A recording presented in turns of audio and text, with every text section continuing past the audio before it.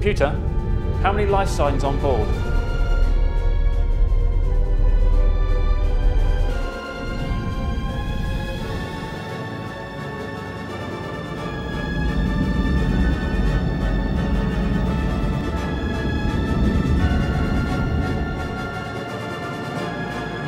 Ensign Rachel Keeley, Enterprise NX-01.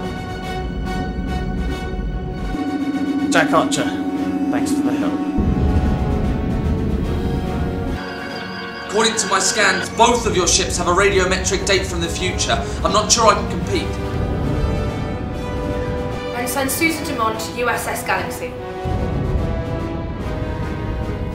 This is Captain James Munro of the USS Mako.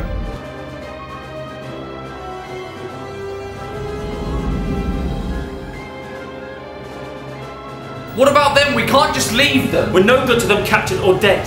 Computer, target these coordinates. Diverting emergency power to shields. Firing all weapons. This is Captain Monroe. Can you read me? Direct hit. Shields down to 10%. Showtime.